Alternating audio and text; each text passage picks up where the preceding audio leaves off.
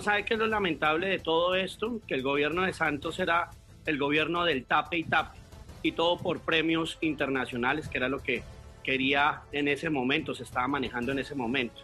El Nobel de Paz y el reconocimiento a su obra maestra. Eso sí es lo lamentable, que no se combatió las organizaciones criminales por tapar y taparle al proceso de paz. Y miren en las, en las que estamos hoy en día. Esta gente generando miedo, terror en muchas partes del país. A ver, ¿y qué han hecho en este gobierno? ¿Y qué han hecho en este gobierno, Vicky? No, combatirlos, combatirlos con todo el peso de la Constitución y la ley. Rodríguez, por ejemplo, ¿qué han hecho en Argelia? ¿Qué han hecho en Argelia? no, no, no, Edgar. Déjeme que yo le haga una pregunta. Déjeme que yo le haga una pregunta al respecto.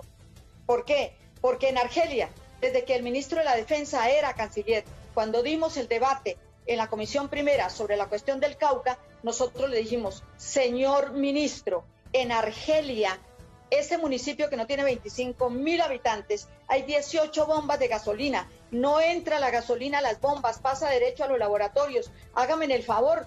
¿Por qué no han hecho nada? Absolutamente nada. Los laboratorios siguen allá. La, una de las últimas masacres en el Cauca fue en Argelia. ¿Quiénes lo ejecutaron? Dicen siempre que es el narcotráfico. ¿Y por qué no han hecho en este gobierno? Llevan dos años y medio. ¿Y qué? ¿Dónde está el accionar? Yo sí creo que ahí hay un acto de impunidad y de que no quiere meterle a eso. ¿Por qué? Porque todos están corrompidos, autoridades civiles y militares. Después de la pregunta tan larga, déjeme contestarle. Lo nuestro es ejemplo y resultados. El gobierno del presidente está comprometido en acabar esas estructuras criminales y las ha venido acabando. Hay que mirar cómo se ha trabajado en el Cauca, cómo se ha limpiado el narcotráfico en Nariño, en diferentes partes del país. Lo que pasa es que son organizaciones con un fajo de billetes muy grande y organizaciones criminales que lo que hicieron fue heredar en otros eh, la, el negocio del narcotráfico. De tal manera que no solamente con la constitución y la ley, sino también con inversión social, que es lo que necesita el país. De esa forma combatimos a todas estas organizaciones criminales, querida. Las carpas que llegaron fueron de mentiras, como en Providencia, que no hay ni siquiera donde la gente eh, eluda siquiera la lluvia. Es que esto es una cosa supremamente delicada. Yo sí creo que aquí hay mucho flu flu, mucha noticia y nada de nada. A ver, ¿por qué no han hecho? ¿Por qué no han ido a los laboratorios de emergencia? ¿Por qué no han ido allá? Porque todos comen, porque todos se vuelven ricos.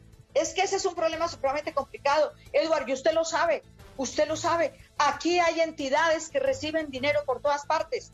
Esto es increíble. Y mientras eso ocurra, el narcotráfico avanza y avanza en todo lo que es no solamente la costa pacífica, todo el sur, o usted le parece poco el baño de sangre que hubo este fin de semana en el sur del país, en Nariño, en el Cauca. Lo más importante es... Es terrible. no hay que ver ¿Qué han hecho ustedes? Dos años y medio de gobierno. ¿Qué han hecho? Nada. y Santos tampoco, una cosa, y Santos con respecto a estas cartas todo indica que no hizo nada. Augusto, y tampoco. Sí, ya que sí, sí, sí, Vicky, no. En torno a este tema de las cartas, todo indicaría que el presidente Santos en ese momento no, hizo, nada, con esa información y luego pues terminó en esta operación, entre otros, de narcotráfico contra Jesús Santrich.